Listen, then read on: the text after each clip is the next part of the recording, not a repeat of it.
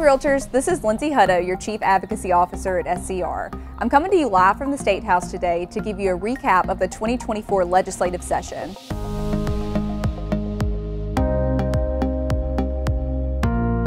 The legislature has officially adjourned sine die and completed the second year of the legislative session. This session marks the end of the 125th meeting of the General Assembly. Any bill that did not pass this session or last session will have to start over in January at the beginning of a new two-year session. Even though we've officially adjourned sine die, we're not quite done yet.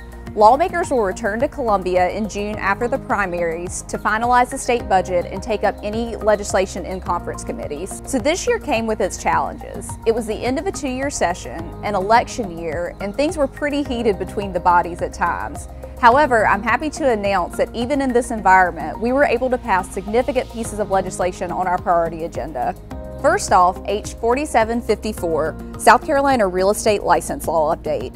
This legislation modernizes the Practice Act to keep up with current technology and industry trends and increases consumer protection by addressing nationwide issues impacting the industry. The key areas that this legislation impacts include modernization, better governance, industry changes, and consumer protection. Regarding modernization, this legislation will allow for internet and social media marketing of other brokerages' listed properties so long as the listing brokerage and the seller authorize it and the listing brokerage is given credit. This legislation will also acknowledge the increase of AI in the real estate industry and explain the responsibility on licensees who use it. Regarding better governance, this legislation eliminates distinctions in the existing statute which give non-resident licensees preferential treatment and a lower barrier to entry than resident licensees. This legislation will also require brokers in charge to attend any disciplinary hearings involving one of their associated licensees. Regarding industry changes, this legislation will require real estate teams to have the word team in their name. Any advertising a team does must also have the name of the brokerage firm be at least half the size and frequency as the team's name. These changes will have a 36 month implementation period. This legislation also addresses individual real estate licensees who will be required to have the full name of the brokerage firm in all advertising, including advertising of their services that is not tied to a particular property. These changes will have a 12 month implementation period. Regarding consumer protection, this legislation will outlaw unfair service agreements. No agreements regarding residential real estate can be in effect for more than one year.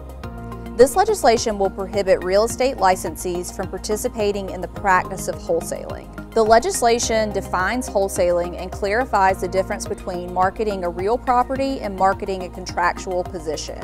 This legislation also changes broker in charge requirements. In order to become a broker in charge, you will need five years of experience, which is an increase from three years of experience that was in current law.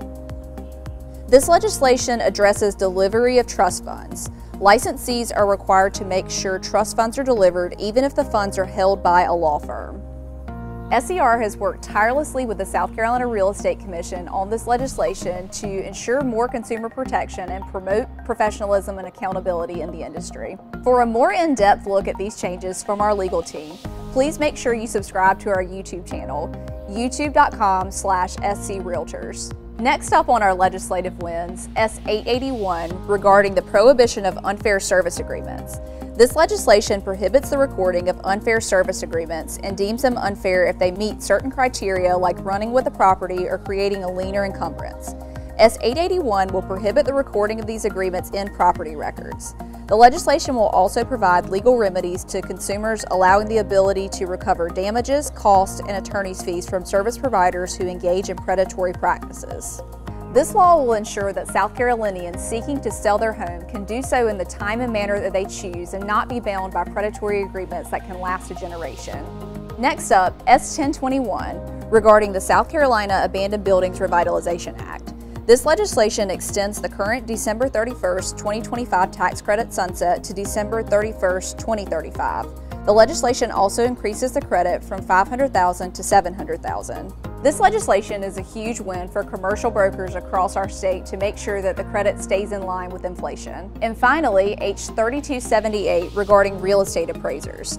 This legislation ensures compliance with federal requirements and provides clarity in the statute regarding appraisal management companies.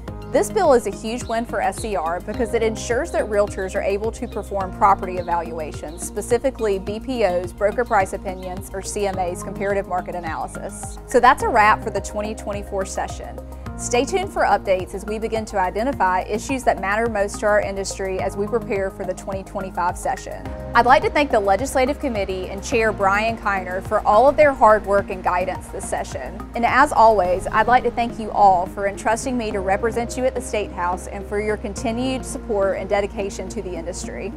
Thanks again for tuning in, and I'll see you all next session.